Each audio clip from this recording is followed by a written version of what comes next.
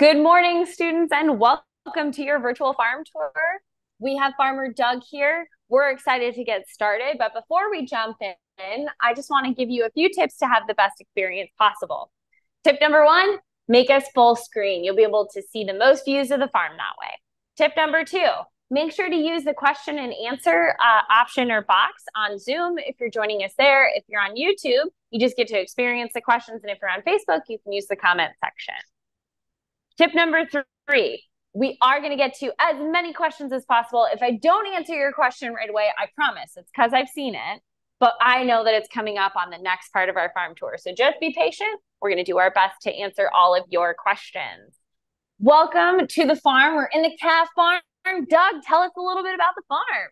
All right. Well, welcome everybody. Uh, this is Zahncroft Dairy. We're here in Pennsylvania. It's a beautiful spring sunny day. Uh, this farm has been in my family since 1934. Uh, I'm the third generation. My brother and I here to uh, to run the dairy.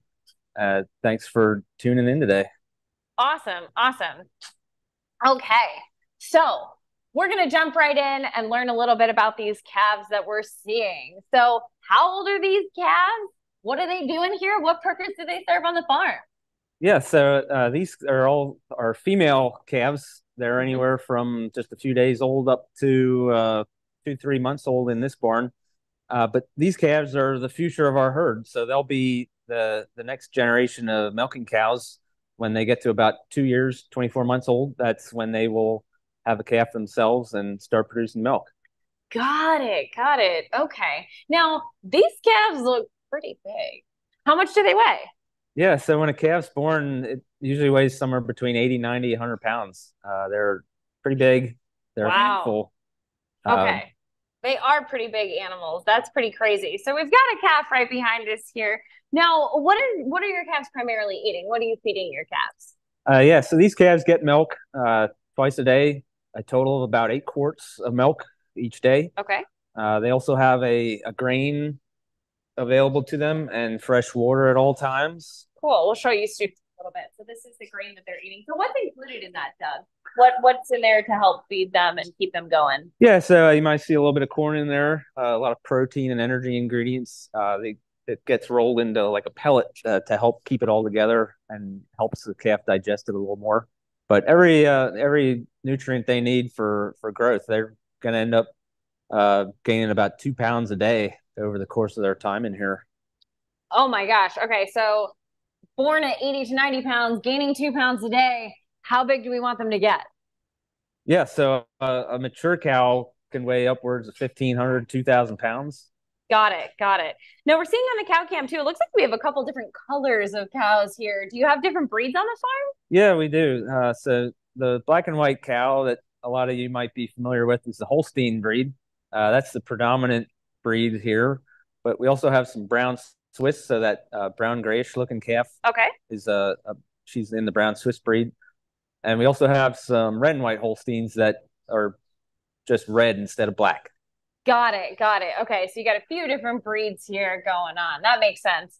Now, I know too on some of the calves that we've seen, they have some pretty cool earrings going on. What are those ear tags actually for on these calves? Yeah. So each cow uh, has a name and a number, and her number is there on her tag. Uh, that helps us out to keep track of all the animals. Uh, it's a unique number, so there's no duplicates, and that way we can uh, keep records of each animal in the computer, and they're easy to read. So when we're working with the animals, we can uh, easily identify them.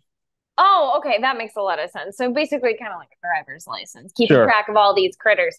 We did have a couple students ask, how many calves are born every day here on the farm? If you said that you've got 200 mature animals. Yeah, so uh, some days there might not be any, but most days there is uh, at least one. We've had as many as four or five in one day.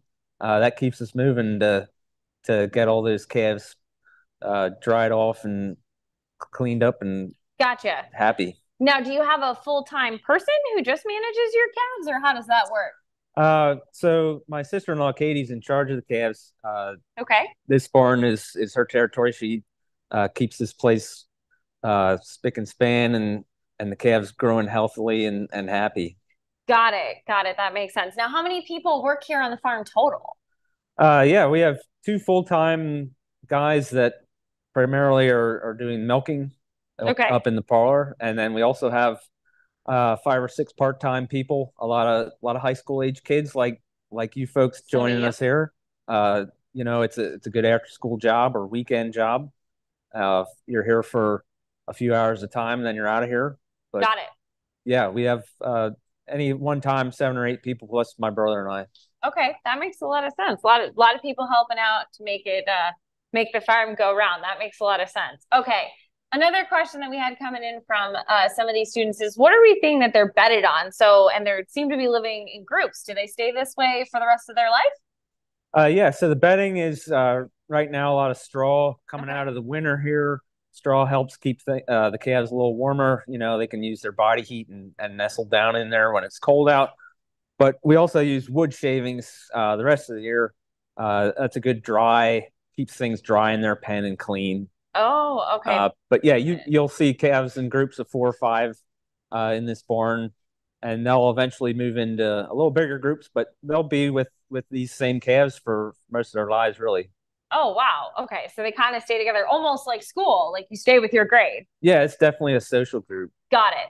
Now, another question we had is you mentioned that these are all girl calves. What happens? I'm sure you have boy calves. Where do they go? Yeah, so the the bull calves or or boy calves, Mhm. uh, obviously they don't get milked, so they'll get sold to another farm. Uh, you know, at just a few days of age, they'll go to a farm that specializes in raising uh, bull calves, and Got they'll they'll go into the beef industry. Okay. So now when your calves are being raised here, how much do you want them to grow each day? I mean, I know humans and our human biology, we grow pretty slowly. How fast do these calves grow? Yeah, these calves will, I mean, they'll end up eating four or five pounds of feed. So that translates into about two pounds of growth of body weight each day. Oh my gosh. Okay. So really, really quickly, they're getting right after it. Now, another question we had was when does a, ca- a calf become a cow? How does that work? What age is that? So when does adulthood start? Yeah, so uh, a calf, as she grows into more like an adolescent or teenager age, she'd be considered a heifer. And then at 24 months or two years old, she'll have a calf of her own. And that's when she's uh, a milk cow. Okay. Two years cow. old, 24 months. That's when she's turning into an adult. Right. Got it. Got it. That makes a lot of sense. Okay, now, students, we've gone through a bunch of how these calves are raised. I think it's time to go see the next part of the farm. But before we do, we want you guys to take a quick break and take a quiz for us. So go ahead, grab grab the knowledge that we just gave you, take your quiz, and we'll meet you at the cow barn next.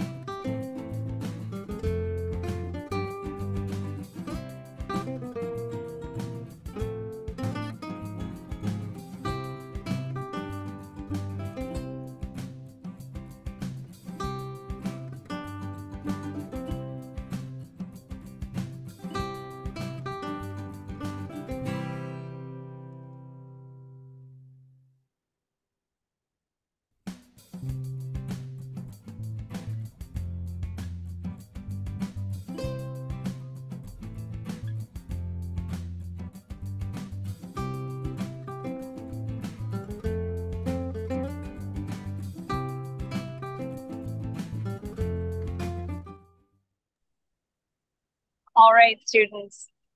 I'm pretty sure you got all those questions correct. So while you guys were working on your quiz, we have made it over to the cow barn. So Doug, remind us again, how many calves living in, or excuse me, how many cows living in this barn and about how old are these animals? Yeah, so these are our, our milking cows. There's about 240 in this barn. Uh, these cows are anywhere from two years up to, we've got some around 10 years old in here. Okay, great. So these are our adult animals, two years to 10 years. Now we're seeing some of them come through on the cow cam. They look big. How big are these animals? Yeah, so uh, a full grown cow could weigh anywhere from 1,500 even up to 2,000 pounds. Oh, wow. Okay, very cool. Now we're seeing lots of the Holsteins, as you shared with us, the black and white cows out there. And we're also seeing that a lot of these animals look like they're laying down and relaxing. So tell us a little bit about the barns here and how they're designed to keep these cows comfortable. Yeah, so this is called a free stall barn. Uh, you can see the cows have access to stalls there to lay down individually. Uh, they can get up and go eat, drink as they please, move around as they want. Uh, we want the cow laying down from 12 to 14 hours a day. Uh, you know, the majority of their day is actually spent resting. Uh, that all helps self production and keeping the cow comfortable. Uh, you might be able to see or hear the fans are running today. Uh, those start up automatically. We have sensors that check humidity, the air temperature, wind speed. Uh, everything out here is kind of automatically controlled for ventilation. Uh, the sides of the barn are actually like a curtain that can go up and down, also based on those parameters. Uh, cows actually like things a little cooler than we do. So 70, 80 degrees, uh, a cow's going to start feeling pretty warm when it gets to that temperature. Uh, so we don't need to heat this. We don't have air conditioning, but we do have fans and misters that'll actually uh, kind of, it's like a shower that'll put cold water on the cows when it gets really hot out. Oh, wow. That's pretty neat. So these cows look like they're just enjoying the buffet. So can you tell us a little bit about what types of feed they eat? Yeah, so the feed is called a TMR. That stands for total mixed ration. So all the nutrients and feed in there. Uh, it's all the ingredients that a cow needs to produce a lot of milk and stay healthy. Uh, we have six or seven different ingredients in there it's almost like a salad or a casserole where everything gets blended together kind of in a in a mix. And I can show you here some of the ingredients we put into that. Yeah, very cool. Definitely show us. So right here we have hay. Uh, that's a, a grass that's been mowed and dried down so that it can be baled. Along with what we have here is called corn silage. So this is the whole corn plant that's chopped up. Uh, in fall is when we we harvest this, and then it, it uh, without light or oxygen, and it goes through the fermentation process. That way, it stays fresh uh, all year round because obviously we need feed every day. The cows get milked every day. There's no uh, break period for them. We need to have fresh feed all year. And the other forage that goes into this, this is called haylage. Uh, this comes from a crop like rye or wheat uh, that's been, again, chopped up and fermented and that we can store here on the farm. And then we have some more uh, concentrated ingredients. So you guys can probably see this is corn. Uh, some of the corn is combined for the grain only, uh, and that's stored here also on the farm. Uh, this will get ground up and incorporated into the mix. And then we have a couple uh, ingredients that we purchase that are high in protein and energy, and also have all the vitamins and minerals that the cows need. Uh, things that we can't grow here, we purchase this feed. Uh, that makes up about five to ten percent of the mix. Everything else we try to grow here on the farm. Wow, very cool. So it seems like there's a lot of science that goes into feeding these cows. Yeah, it's it's a very uh, high level in nutrition, probably better than a lot of people uh, as far as being balanced and energy correct. that's fabulous. So we have a couple questions coming in, uh, which one of them was actually asking about growing the crops themselves. What percentage are you growing yourself? And then what types of uh, environmental sustainable practices are you using to grow those crops? Yeah, so uh, here in Pennsylvania, with our, our climate, we're able to grow two crops per year off of each acre. So that rye or wheat that I was talking about, that actually gets planted in the fall, uh, and then we harvest it in the spring, and then right after that we'll go in and plant corn, and then the corn will be harvested in the fall. So it's called double cropping. We can get uh, twice the nutrients off each acre. Another nice thing about that rye or wheat crop is it's growing and putting down roots in wintertime. That way we're conserving soil. Uh, it's not running off and uh, we're not, you know, releasing uh, carbon into the atmosphere. We're really keeping the soil here on the farm where we want it for growing our crops. And also the manure that the cows produce gets incorporated back onto the fields for fertilizer. So it's really uh, one big cycle of nutrients that we're not, you know, producing excess uh, nitrogen and so forth. It all stays here, gets used for a purpose uh, to be, you know, stay sustainable in producing milk. Got it. Wow a lot of science, a lot of math, a lot of technology sounds like it's being used. That's really, really interesting. So obviously we're seeing these cows are housed inside, they're under fans.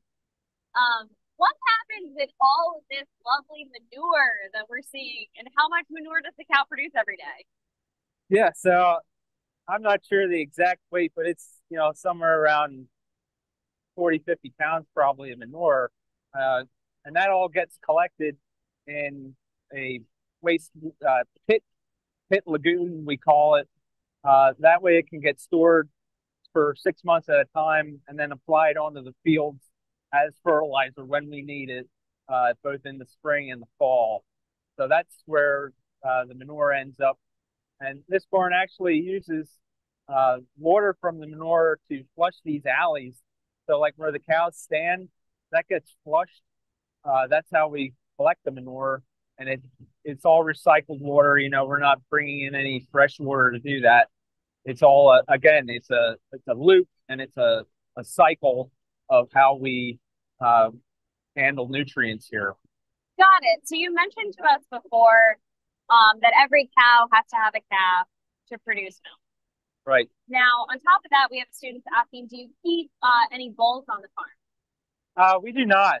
Uh, the breeding is done artificially, so we don't keep uh, bulls around. There's just too much unpredictability with them. It's not safe for us or our employees, so we don't keep any bulls there. Got it. That makes a lot of sense. Uh, now, about how long do these cows spend resting every day? So we see them; they're kind of laying in beds, hanging out. What's in those beds? Yeah, so the cows' beds are filled with sand. Uh, it's kind of like a day at the beach for them every day. Uh, sand is inorganic, so it doesn't support uh, microbial bacteria growth. And the, the other thing is, it's really comfortable uh, for a cow. There's about 10 to 12 inches, uh, like, a, like a bed in there that they lay on. That does sound pretty comfortable. Now, we had some of our students asking, how old are some of your oldest cows? Uh, we have a couple couple old girls that are over 10 years old.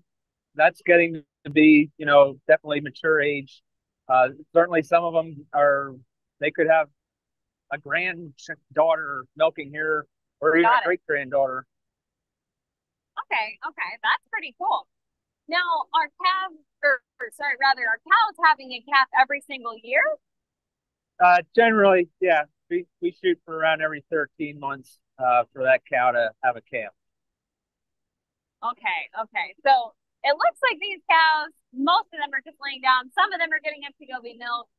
What does their day look like? How do they spend their time all day? Yeah, so our cows are milked three times a day, uh, four o'clock, eleven thirty, and seven at night. So at those times, they'll go over to our milking parlor that you'll see in a little bit. Uh, but you know, the rest of the time they're coming back here to eat, lay down. Uh, we do feed them, run fresh feed out to them twice a day, but they'll actually have like seven or eight meals where they'll just come up when they want to eat. Got it. Big snackers. That's right. All night buffet. Perfect. Okay, I think it's time, students. I think you're ready to jump in and do your next quiz on the cow section. And I think we're ready to show you the parlor. So you guys do your quiz and we'll meet you right back here for showing you the parlor.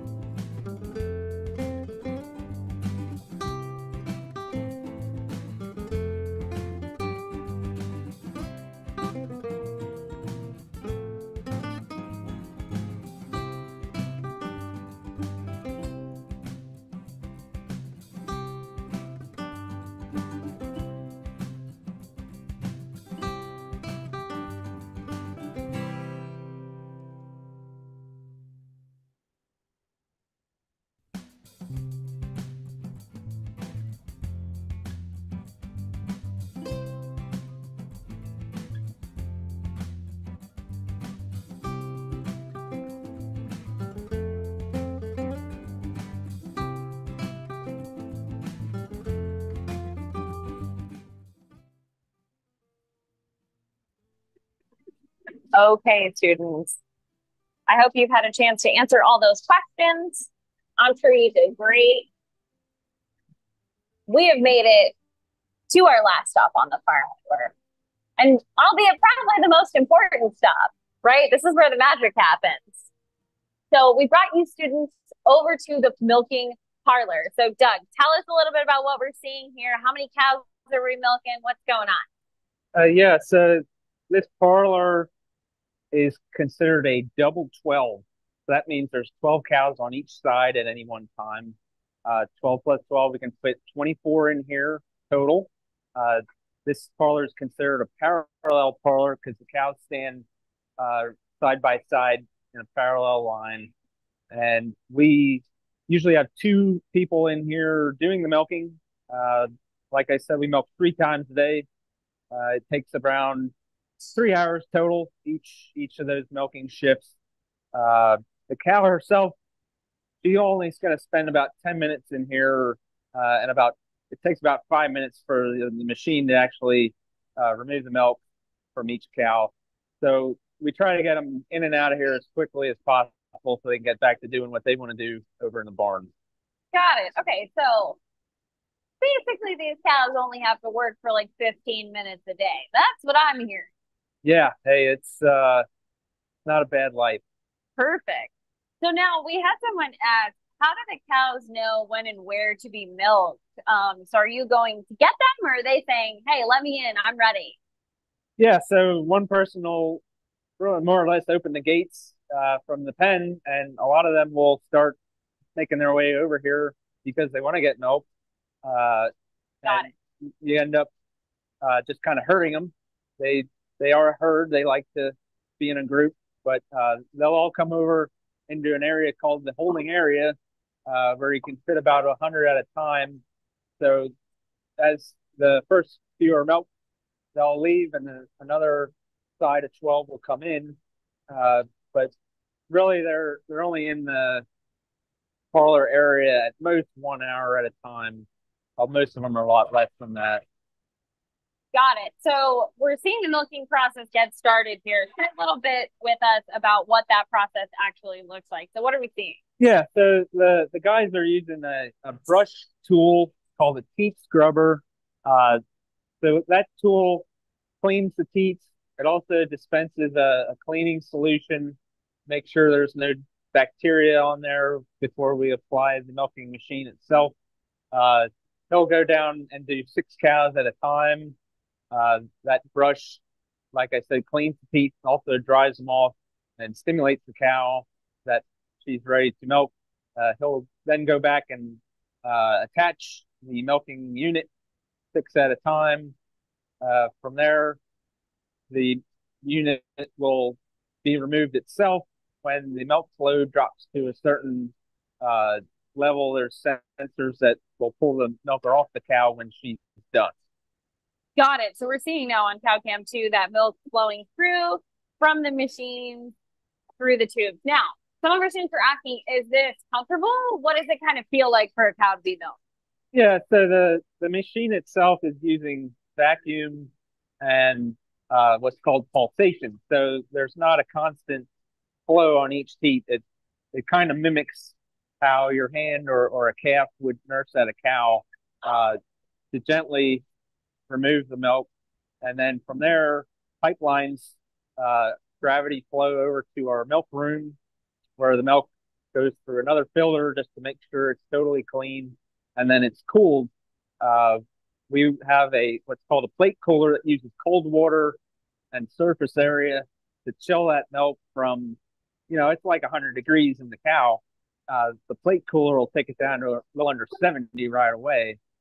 And then from there, it goes into our storage milk tank where refrigeration will cool that milk to under 40 degrees, 36, 37 degrees uh, within an hour. Got it. Got it. Okay, that makes a lot of sense. So that milk's pulled right off. Now I'm I know it goes from the farm to the store pretty quickly. Um, what is most of your milk going to make? Is it going to make cheese? Is it going to make the jugs we see in the grocery store? Yeah, uh, most of our milk here in Pennsylvania goes for fluid consumption. We are fairly close to a lot of big cities, you know, Philadelphia, New York, the East Coast here. So the most economic uh, way to handle our milk is is to put it in jugs and pints and it goes for consumption that way. Uh, there is some that could go for cheese or yogurt or ice cream production.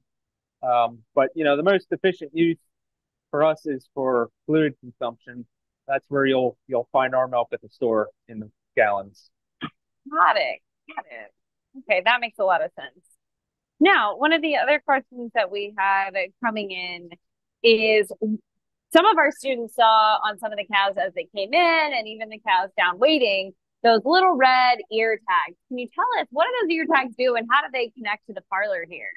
Yeah, those tags are, are kind of like a Fitbit. So they track a lot of movement activity of the cow. Uh, they can tell, you know, just from the movement of her ear, how much she's spending, uh, how much time a day she's spending eating, how much of time she's resting. They can check her temperature. So anything uh, that we need to keep cow healthy, all those uh, things we measure can be tracked by those tags. Uh, I can pull that up on my phone at any time. It'll flag a cow if she's sick, and that way we can get to her sooner, as soon as possible if we need to give her extra attention. Got it. Got it. Okay. So we have some students asking, you mentioned when a cow's not feeling well. Can you share with us about how you use maybe antibiotics to help them get healthy and then what that means ultimately for the milk? Sure. So the only time that we would use an antibiotic is if a cow is sick. Uh, if if a cow gets pneumonia or maybe uh, what's called mastitis in the udder, but that milk has to be separated. We can't sell that. There's very fine tests that check for antibiotics in milk. Uh, so you can rest assured that there's no antibiotics in the milk you're consuming because it has to be separated here on the farm before it ever hits the shelf for sure. Okay, so that makes sense. So basically, there's a bunch of different protocols in place. First of all, we're only using antibiotics when a cow absolutely needs it. And then right. on top of that, it would never make it into a tank, never make it onto a shelf. Right. Got Every it. tanker load of milk gets checked. So there's no getting around that. Got it. That makes a lot of sense. Now, in the realm of uh, sort of that, we did have a student asking us when they saw the feed and the crops about utilizing pesticides to help limit, you know, weeds and whatnot in the crops. Um, so how are you guys managing that to help keep also then what these cows are eating, keep that safe and healthy? Yeah, so uh, we'll use pesticides in springtime to kill any weeds in the fields before we plant a crop. Uh, that way, the crop can take over growing in a nice, clean seed bed. Uh, weeds weeds aren't very nutritious. We don't want them in the feeds, so we'll use pesticides for weed control uh, as needed. Okay, got it. That makes a lot of sense. So now, how much milk is each cow producing on the farm here? Yeah, so right now our cows are averaging over 90 pounds of milk a day. Uh, we kind of track milk by weight rather than volume, but that translates uh, over 10 gallons per cow each day. Got it. Okay, so 10 gallons per cow. You students can do the math. Remind our students, Doug, how many cows milking each day? Yeah, uh, there's around 240 getting milk. All right, there you have it, folks. 10 gallons times 240 cows every day. That is a lot of gallons of milk making it off the farm here to the grocery store. So we did have another student ask us um, about if the cows go outside or do they ever escape the barn? uh, well, if somebody doesn't close the gate properly, they can go on a little jaunt. But uh, you know, our cows get uh, a vacation of about two months each year where they're dried off, where they're not milking. So at that point, they get pasture access. Uh, they're down in a in a different barn at that time. That's kind of like their break before they have another calf. Uh, okay. You know, for about two months. Got it. Got it. Okay, that makes a lot of sense. Now, on top of that, uh, one other question that we had coming in from students is why is milk pasteurized? Now, you're not doing that pasteurization here at the farm, but maybe you can share with us. Yeah, so pasteurization is, uh, you know, pretty well well known uh, process of heating the milk to kill bacteria. Uh, there's, you know, naturally occurring bacteria in milk, so that's just a, a safeguard to ensure that product's safe for consumption and it'll last on the shelf for a good long while. Got it. So what you've shared with us so far too, Doug, it sounds like there's a lot of regulation in place, um, both from the FDA, from a food safety side of things. But then I know you guys as farmers also adhere to very strict rules. So what is the name kind of of that program that's managing both your animal care and cleanliness? Yeah, so uh, we uh, participate in the farm program. Uh, that's Farmers Assuring Responsible Management. Uh, that's just another layer of, of safeguard to ensure that we're handling animals properly, that our employees have been trained in proper animal care and handling. And it's, uh, you know, a, a program that has become pretty wide, widely regarded and highly regarded Uh, you know, the, the dairy industry is predominantly almost all milks participating in, in that program. Wow, that's awesome. Okay, Doug, I think our students have got enough information. You're ready for the next quiz. We're going to do one more quiz on the parlor. Then we're going to meet Farmer Doug back to tell him thank you and answer the last few of your questions. You guys take that quiz and we'll meet you right back here.